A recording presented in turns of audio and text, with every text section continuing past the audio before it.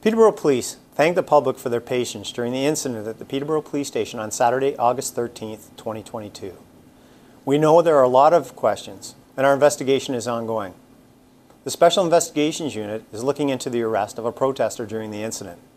The Peterborough Police Service is cooperating fully with their investigation. Any questions regarding the SIU investigation will have to be directed to that organization.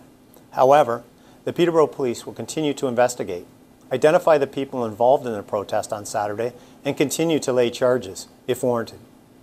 If anyone knows the identity of people who may have been involved in either the incident with the counter-protester or the incidents with the officers, please call Peterborough Police Crime Line or Crime Stoppers. As mentioned, officers are also investigating the assault of a counter-protester on Saturday afternoon.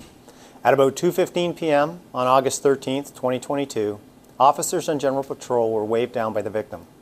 Officers learned that the victim's sign was ripped, and he was verbally threatened in one incident and had his mask ripped off by another person while out in front of the police station.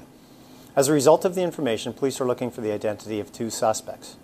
Suspect number one, female, white with short hair, approximately 5 foot 3, wearing light blue plaid blouse and sunglasses, approximately 65 years old. Suspect number two, male, 50 to 60 years old, black leather vest with chains hanging from the pocket, blue jeans, and a black headscarf. White mustache and goatee, approximately 5 foot 7. Anyone with information is asked to call the Peterborough Police Crime Line or Crime Stoppers. Further, officers have made a third arrest in connection with the incident at the Peterborough Police Station on Saturday.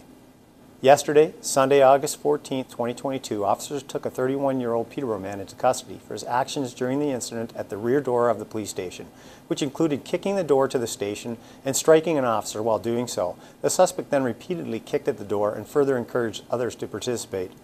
The suspect then went to another area of the police parking lot and began yelling and banging on the windows of several police cars with officers in them, preventing them from leaving the station. As a result, a 31-year-old Peterborough man was arrested and charged with assault peace officer with a weapon and three other criminal code offenses. The accused was held in custody and appeared in court today, August 15th. Again, we thank the public for their patience as the investigation continues. We would also like to thank our frontline colleagues for their support, including the Ontario Provincial Police, who helped our officers answer calls for service for several hours. We'd like to reiterate that if anyone knows the identity of people who may have been involved in either the incident with the counter-protester or the incidents with the officers, please call the Peterborough Police Crime Line or Crime Stoppers.